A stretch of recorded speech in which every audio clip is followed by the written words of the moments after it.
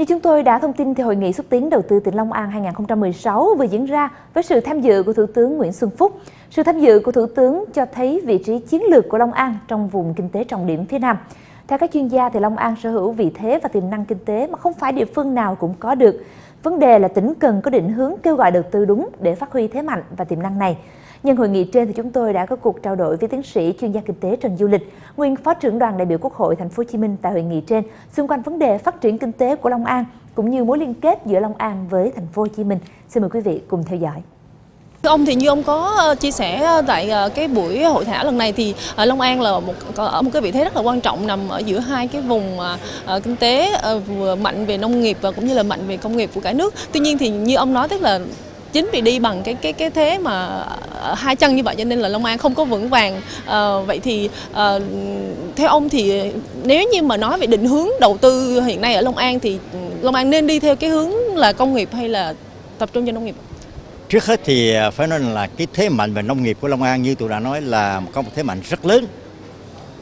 Về tuy nhiên đó, là chưa phát huy được thế mạnh này. Nó do cái cái nhược điểm chung của cái nền nông nghiệp Việt Nam.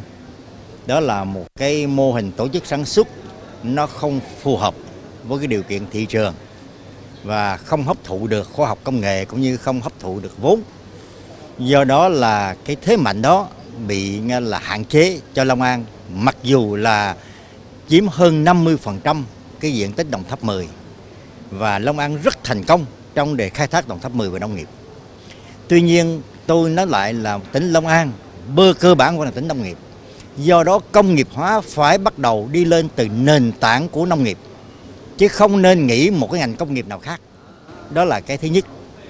Cái thứ hai, Long An có một lợi thế hơn các tỉnh đồng bằng sông Cửu Long khác là nôm na là ngoại ô của thành phố Hồ Chí Minh và phải xem thành phố Hồ Chí Minh như một cái nợ cái hậu cần để phục vụ cho phát triển Long An. Nhưng lâu nay không làm được việc này bởi vì do cái trở ngại thứ nhất là giao thông kết nối chung của vùng và quan điểm vẫn cái tư duy các địa phương trong vùng vẫn là kinh tế tỉnh, thành ra không phát triển được.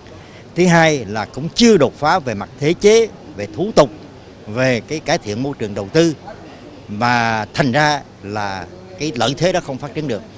Chứ không phải là vì có hai chân mà không đi được. Tức là hai chân đều mạnh, nhưng mà vì hai chân bị chia sẻ, nhưng mà trong những năm sắp tới này, tôi cho rằng là Long An cần tận dụng đầu tiên gọi là đột phá để tạo cái tích lũy từ cái lợi thế phát triển năm cái địa bàn mà sát thành phố Hồ Chí Minh gắn với vùng kinh tế trọng điểm Tân An, Cần Đước, Cần Duộc, Đức Hòa, Bến Lức và ta xem đó như một cái ngoại vi của thành phố Hồ Chí Minh để kết nối phát triển. Vâng. Ờ, thưa ông, tuy nhiên thì chúng ta thấy rằng là uh, như ông nói tức là Long An cũng là một cái khu vực ờ, gọi là ngoại ô thành phố Hồ Chí Minh. Liệu rằng là cái, cái khu vực ngoại ô này có được có nên phát triển trở thành một cái cái gọi là một cái vùng uh, mạnh về công nghiệp như là thành phố Hồ Chí Minh hay không ạ? Thật sự thì uh, thành phố Hồ Chí Minh là cái giới hạn phát triển công nghiệp là khoảng 7.000 hecta là hết. Và trong khi Long An là quy hoạch là khoảng 12.500 ha. Có nghĩa là tôi nói Long An cũng giống như Vĩnh Phúc, cũng giống như Bắc Ninh đối với Hà Nội. Và đây là một cái dư địa để tiếp tục phát triển cái công nghiệp của vùng kinh tế trọng điểm phía Nam. Chứ không phải cạnh tranh thành phố Hồ Chí Minh. Tôi nói lại, đây là nếu trên quan điểm phát triển vùng thì năm cái cái huyện thị của Long An cùng với một phần Bình Dương, Đồng Nai, một phần thành phố Hồ Chí Minh, một phần Bà Rịa Vũng Tàu nó thành một cái vùng cung phát triển công nghiệp của vùng này nếu như chúng ta đứng trên quan điểm phát triển vùng. Vâng. À, như ông có nói tức là vấn đề mà phát triển vùng hiện nay là một cái bài toán rất là khó. À, vậy thì à, liệu rằng là chúng ta đặt ra như vậy nhưng mà làm thế nào để mà cái bài toán à, phát triển vùng hiện nay nó có thể nhanh hơn, nó có thể hiệu quả hay không? Và bây giờ tôi cho rằng cái thời cơ nó tốt hơn nhiều Thứ nhất là quan điểm phát triển vùng đã đưa vào hiến pháp năm 2013. Thứ hai đã đưa vào nghị quyết đại hội đảng toàn quốc lần thứ 12. Và hiện nay chính phủ đang trình quốc hội một cái đạo luật về quy hoạch. Trong đó có cái nội dung quan trọng là quy hoạch phát triển vùng. Như vậy thì tôi cho rằng là cái điều kiện hiện nay để chuyển từ tư duy tư duy kinh tế tỉnh sang tư duy phát triển vùng, nó chín mùi và thuận lợi và Long An cùng với các địa phương trong vùng nên nắm bắt cái này để đi trước một bước trong đề phát triển. Vâng. À, thưa ông hiện nay thì uh, các cái đại biểu đều nhấn mạnh việc là phát triển cơ sở hạ tầng uh, của Long An làm sao kết nối được với các cái địa phương như thành phố Hồ Chí Minh.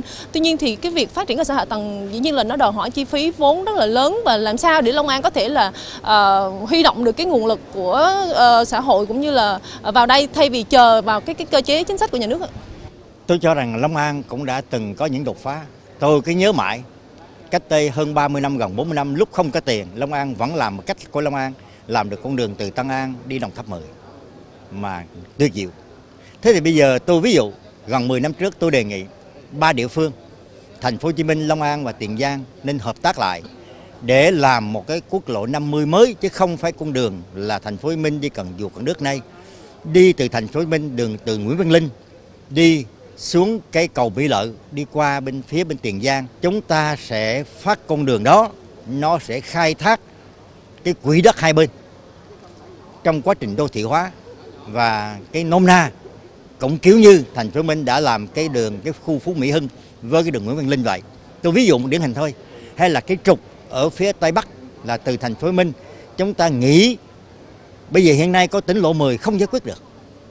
Tức là cái, những cái cách đột phá đó để tạo ra những cái cái gọi là cái mạch nối giao thông mới theo phương thức là gắn cái kết nối đó với quá trình là đô thị hóa quỹ đất đô thị. Thì đó là cái cách mà chúng ta nghĩ để mà làm. Tôi tôi cho rằng là nhưng mà muốn vậy là phải có hợp tác vùng dạ vâng, à, dạ vâng xin cảm ơn ạ.